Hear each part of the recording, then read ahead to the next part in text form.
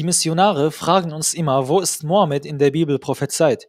Ich frage heute, wo ist Jesus im Alten Testament prophezeit? Der unbekannte Schreiber des Matthäus-Evangelium stellt eine gewagte Behauptung auf. Da heißt es in Kapitel 2, Vers 23, denn es sollte sich erfüllen, was durch die Propheten gesagt worden ist, er wird Nazoräer bzw. Nazarener genannt werden. Fast alle Bibelübersetzungen, egal ob deutsche oder englische, sind sich darüber einig, dass die Quelle dieser Prophezeiung nicht bekannt ist. Und jetzt will man von uns wissen, wo der Prophet Mohammed steht. Liebe Christen, zeigt uns erstmal, wo Nazarener im Alten Testament steht. Und ich zeige euch, wo Ahmad namentlich in der Bibel steht. Schaut mal bitte, wie problematisch diese Prophezeiung ist. John Fenton, der Exeget, sagt, die Quelle dieser Prophezeiung ist unbekannt. Aber Jesaja 11.1 wurde vorgeschlagen. Es ist also ein Vorschlag. Das ist nur eine Interpretation übrigens von mehreren Interpretationen. Es ist ein Vorschlag, eine Mutmaßung. In Jesaja 11,1 steht: Und es wird ein Reis hervorgehen aus dem Stamm Isais und ein Zweig aus seiner Wurzel Frucht bringen. Und da steht für Zweig oder Spross auf Hebräisch Nezer. Und da kommen die Apologeten und sagen, ja, Nezer und Nazarener ist ja das gleiche Wort. Darauf gehe ich gleich ein, aber ich möchte erstmal zeigen, ob es andere Interpretationen gibt. Der Kirchenvater Johannes Chrysostomos sagt was ganz Gefährliches. Er sagt, er werde Nazarener genannt werden. Wo steht es im Alten Testament? Welcher Prophet hat das prophezeit? Nun sei nicht vorwitzig oder wolle nicht zu viel wissen. Es sind ja viele prophetische Bücher verloren gegangen. Juden waren eben nachlässig und, viel, und fielen immer wieder von Gott ab. So ließen sie einige Bücher verloren gehen, andere haben sie selbst verbrannt und zerstört. Er spricht hier von einer Korruption der Schrift. Und das zeigt uns, wie problematisch diese Prophezeiung ist. Wenn man diese Prophezeiung nicht findet, sagt ja, die Juden sind schuld. Die bösen Juden haben die, ihre, ihre Schriften verfälscht. Deswegen können wir das heute nicht finden. Und das ist nicht nur die Ansicht von Johannes Chrysostomos, sondern auch von Theophylakt, von Klerikos und weitere. Andere glauben, dass diese Prophezeiung in einem Apokryphenbuch steht. Das ist auch eine sehr interessante Ansicht. Matthäus hat schon mal aus einem Apokryphenbuch zitiert. Und ich habe schon mal in einem Video erwähnt, dass die Autoren des Neuen Testaments apokryphe Schriften zitiert haben. Schaut euch gerne das Video an. Und jetzt schauen wir mal, wie die Apologeten versuchen, dieses Problem zu lösen. Sie verweisen auf Jesaja 11.1 und sagen, das hebräische Wort, was da steht, ist Nezer und Nezer und Nazarener hört sich ja gleich an und deswegen machen wir daraus Nazarener. Ja, nee, ist klar. Und was ist mit Daniel? Das Wort, genau das hebräische Wort, was da steht, ist im Buch Daniel, Kapitel 11, Vers 7 da steht auch Nezer. Und dieser Spross im Buch Daniel ist nicht Jesus, sondern Ptolemios. Laut Benson Commentary geht es hier um Ptolemios. Laut Cambridge Bible for School and Colleges ist der Spross hier, genau das Wort, was in Jesaja 11.1 steht, ist Ptolemios. Auch in Brown Bible Commentary steht, der Spross ist Ptolemios. Heißt das jetzt, dass Ptolemios äh, aus äh, Nazareth kommen wird oder wird Ptolemios der Dritte auch Nazarener genannt? Nein, das ist eine ungültige Interpretation.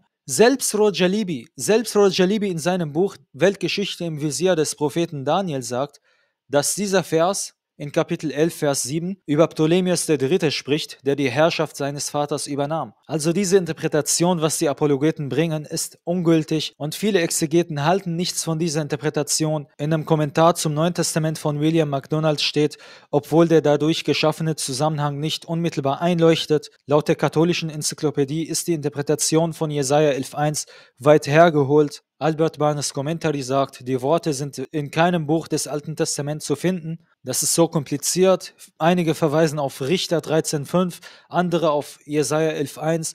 Und er sagt, keine der Interpretationen klingt überzeugend. Raymond Brown sagt, er soll Nazarener genannt werden. Das ist das komplizierteste Formelzitat im Evangelium. Und es gibt noch so viele Exegeten, Leute. Ich werde sie natürlich nicht alle zitieren. Und jetzt, liebe Leute, diese Interpretation hier, dieses Statement von William Barclays Commentary ist so mutig und das hat mir am meisten gefallen.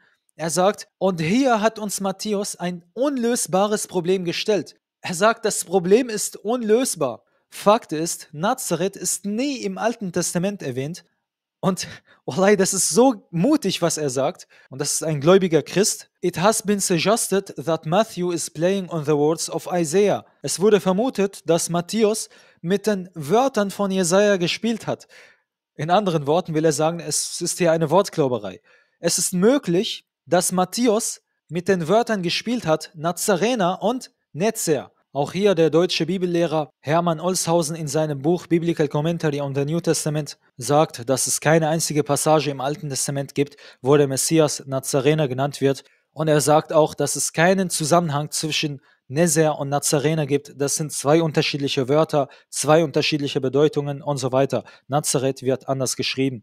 Ein weiteres Problem bei dieser Prophezeiung ist, Matthäus sagt, es heißt in den Propheten, also selbst wenn man jetzt sagt, okay, das, das steht in Jesaja, hat sich das Problem nicht gelöst, denn laut Matthäus ist das in den Propheten, nicht in einem Buch, sondern es, es soll mindestens zwei Propheten geben. Und das Wort Nezer kommt nur im Buch Daniel und im Buch Jesaja, aber im Buch Daniel geht es um Ptolemäus, deswegen ist das nur noch im Buch Jesaja. Und jetzt kommen die Apologeten und verweisen auf Zacharia und Jeremia, wo der Messias Spross bzw. Zweig genannt wird. Ja, das stimmt. Da steht zwar Spross, aber das hebräische Wort, was da verwendet ist, ist Semach und nicht Netzer.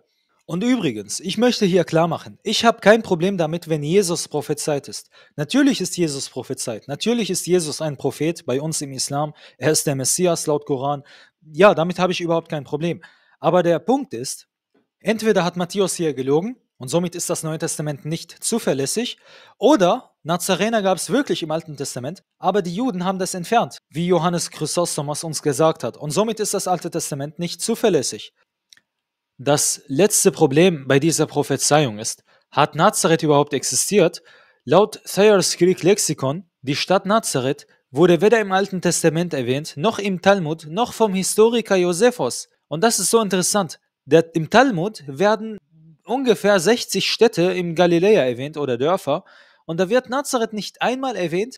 Wie kann es sein, dass Nazareth nicht einmal erwähnt wird? Wie kann es sein, dass Paulus, der vor den vier Evangelisten geschrieben hat, nicht ein einziges Mal über Nazareth gesprochen hat. Laut Word Biblical Commentary, Nazareth wurde weder im Alten Testament erwähnt, noch im Talmud, noch im Midrash und nicht mal in zeitgenössischen heidnischen Schriften. Die früheste außerbiblische Quelle ist aus dem 4. Jahrhundert ist im Buch von Eusebius von Caesarea, beziehungsweise es ist aus dem dritten Jahrhundert, denn das ist ein Zitat von Julius Africanus. Und selbst diese außerbiblische Quelle ist so problematisch, denn da steht, kommend von Nazareth und Kochaba, Dörfer und Judäa. Ähm, erstens, Nazareth ist eine Stadt und kein Dorf. Zweitens, hier steht, dass Nazareth ein Dorf von Judäa ist. Also nur ganz kurz, für die Leute, die das nicht wissen, Nazareth ist in Galiläa, ist im Norden von Palästina. Hier sieht man das auf der Karte. Das ist die Karte von Palästina. Und Nazareth ist hier oben, ist im Norden. Judäa ist im Süden. Das ist Judäa. Das hier sieht man das vielleicht größer. Und Galiläa und Nazareth sind hunderte Kilometer davon entfernt. Also selbst bei dieser außerbiblischen Quelle ist das geografisch falsch. Judäa ist im Süden. Galiläa und Nazareth sind im Norden. Noch interessanter wird es in der deutschen Übersetzung. In der deutschen Übersetzung vom Buch von Eusebius steht, dass Nazareth ein jüdisches Dorf ist. In der englischen Übersetzung steht Villages of Judea, Dorf von Judäa. In der deutschen Übersetzung steht jüdisches, jüdisches Dorf. Warum sagen sie das? Weil sie ganz genau wissen, dass bei der deutschen, beim griechischen Text geografisch falsch ist. Sie haben aus judäisches Dorf jüdisches Dorf gemacht um diesen Fehler zu vertuschen. Und das ist so beeindruckend, Leute. Wir haben das Neue Testament ist verfälscht.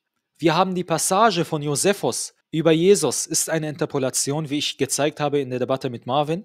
Und selbst Schriften der Kirchenväter werden falsch übersetzt und verfälscht. Und da stelle ich mir echt die Frage, ist irgendwas noch im Christentum zuverlässig?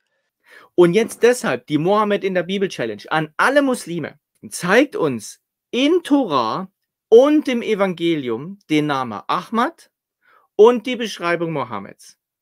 Jesus im AT Challenge an alle Christen zeigt mir, wo Jesus im Alten Testament Nazarener genannt wird und ich zeige euch, wo unser Prophet namentlich erwähnt wird. Das war's von meiner Seite. Teilt die Challenge mit den Christen, abonniert den Kanal, liked das Video. Liebe Christen, wenn euch das Video nicht gefallen hat, könnt ihr gerne disliken. Das ist gar kein Problem. Alles Gute, wassalamu alaikum.